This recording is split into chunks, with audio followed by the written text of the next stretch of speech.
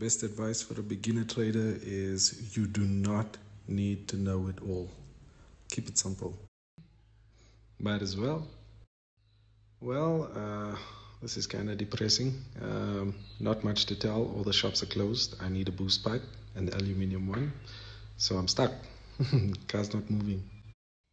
Um, I never had a mentor, uh, but I did have guys that I looked up to.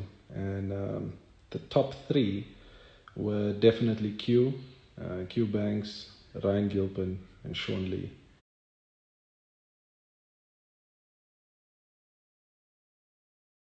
Thank you, my brother. I appreciate that. Don't use fundamentals. You know, it actually took me a very long time because I thought I needed to know everything to be successful in this game. I am what South Africans would call colored.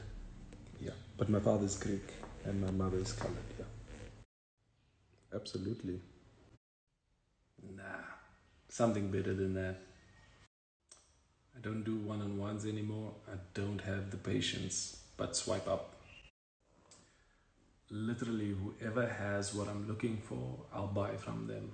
That's about it. But I don't have one specific place. However, the one place I do buy a lot from is Shelf Life.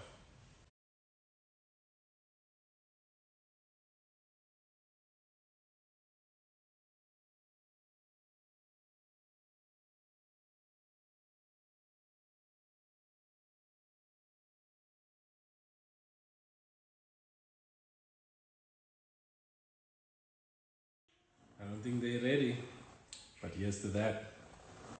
Okay, here we go again.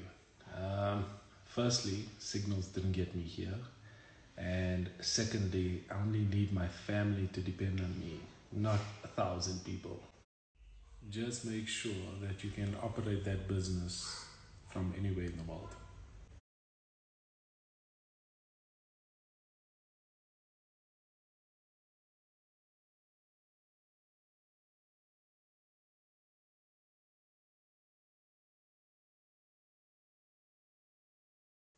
Okay, that's all I got time for.